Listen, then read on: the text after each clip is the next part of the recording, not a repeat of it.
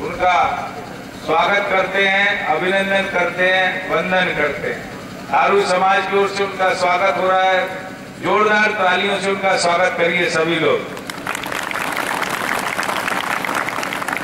नई दिल्ली से चलकर यहाँ पहुँचे, ये कोई विशेष बात नहीं है। ये दूर दूर गाँव गाँव जाकर के काम करते हैं। गाँव से ही इन्होंने अपना जीवन का शुभारंभ किया है।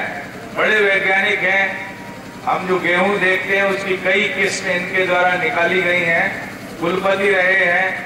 देश दुनिया में जाकर के अपनी जो देश की अच्छी फ़सल है अच्छा बीज है, उसको कैसे बचाया जा सकता है, कैसे रखा जा सकता है, उसके बारे में जो भी कुछ अपने देश में अच्छा होता है, उसको बताते हैं दुनिया भर में जाके। कल अपने यहाँ पहुँचे हैं, कल किसानों के साथ बातचीत किए अयोध्या में वहाँ से रात को जयप्रभा ग्राम आए, देर रात तक सबसे बात करते रहे। सुबह उठ करके पूरी आपकी फ़सल खेती देखे हैं।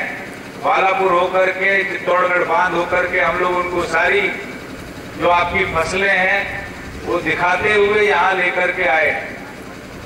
अभी उनको यहाँ से बलरामपुर, गोंडा गोपाल ग्राम पहुँचना है। वहाँ पर भी इसी प्रकार का कार्यक्रम है। जिसमें गोंडा जनपद की जो महिलाएँ हैं, जिन्होंने बीज संरक्षण में काम किया जैसे आपने बलरामपुर जनपद के, पचपड़वा क्षेत्र के, खारू क्षेत्र में, ये इमिलिया कोडर के आसपास के जो चौवन पचपन गाँव में आप लोगों ने, जो पुराने से पुराना बीज, फल का, सब्ज़ी का, अनाज का बचा के रखा है, उसको देखने, समझने के लिए आए और अगर उनको अच्छा लगता है तो इसको परीक्षण करने के लिए समिति बना करके दोबारा भेजेंगे।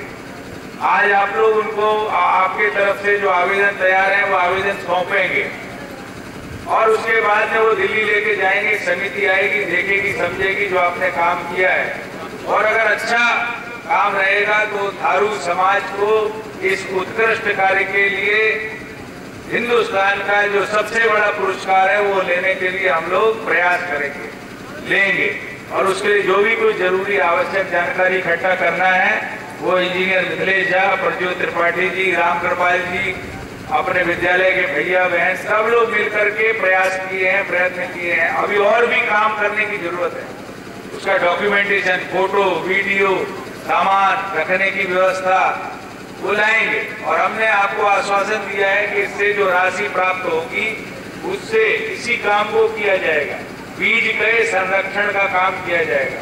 जो राशि मिलेगी वो थारू समाज के चार लोगों के नाम से जमा होगी, संस्थान का एक कार्यकर्ता होगा पारसनाथ जी होंगे, और उस राशि से जो ब्याज प्राप्त होगा इंटरेस्ट क्या प्राप्त होगा, वो ब्याज से हम लोग बीज से बीज बढ़ाने का काम करेंगे।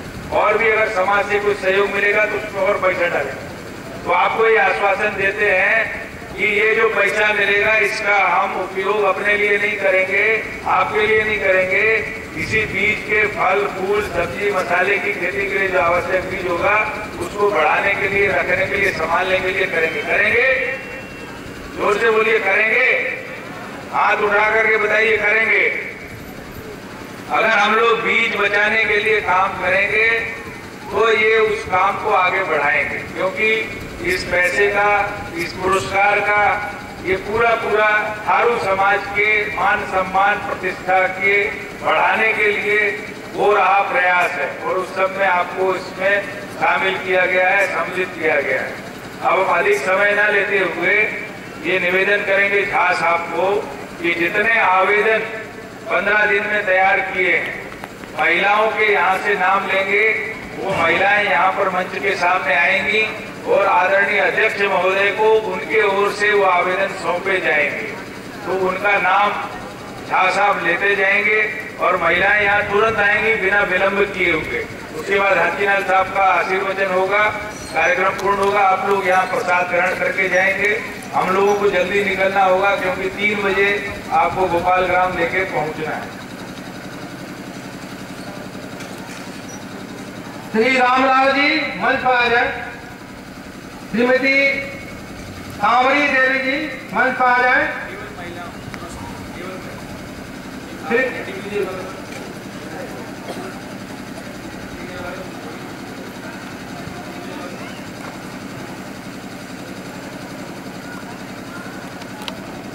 सुखरा जी मसा गाँव के हैं, मंच पर आ जाए।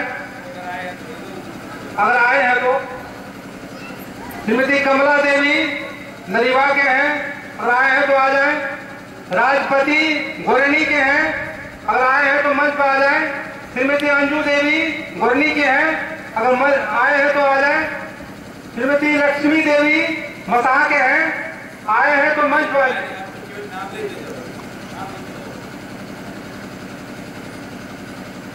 श्रीमती झुरणी देवी, भुकरवा कला श्रीमती दशरथी देवी, भुकरवा कला आज श्रीमती रजरानी देवी भुकरवा कला श्रीमती दशरथी भुकरवा कला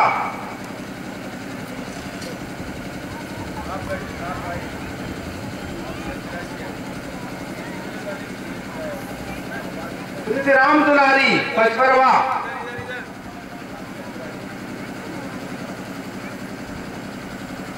श्रीमती चंद्रकली देवी, पचपरवा।